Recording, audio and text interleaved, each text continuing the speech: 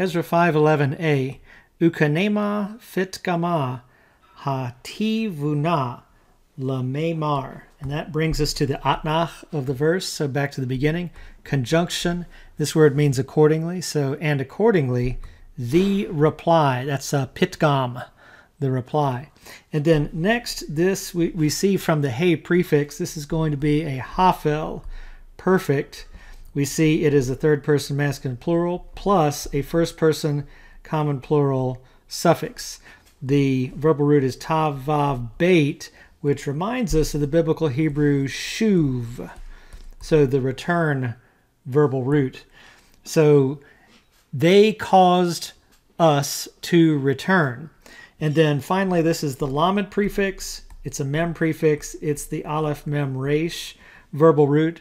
This is going to be a pa'al infinitive of the aleph mem resh. And this is the one case in biblical Aramaic where we have the aleph mem resh verbal root serving as biblical Hebrew did with the lamor use of the aleph mem resh verbal root. So this is a direct speech marker.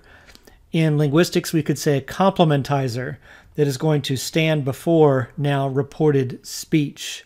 This is in contrast to Daniel 2 9, where it was not serving as a direct speech marker, but it was to say, literally. So back to the beginning. And accordingly, the reply, they caused to return, there's no they. So the, the reply was returned to us saying. So the saying here is acting as kind of like a colon for what is to come.